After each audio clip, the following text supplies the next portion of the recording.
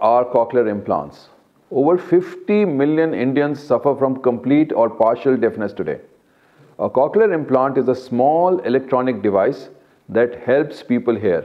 It is suitable for both adults and children who are completely or almost completely deaf in both the ears and for whom hearing aids are not of no use. Living with an implant allows you to do most of the activities. Recent cochlear implants are even MRI compatible and therefore may not be removed while getting an MRI done later on in life. A well motivated patient undergoing desired speech training, the results are very satisfactory. Children who are born deaf can then attend regular schools with normal communication and language skills. For them, this is a life-changing experience and Cochlear Implant team gets a great satisfaction treating them.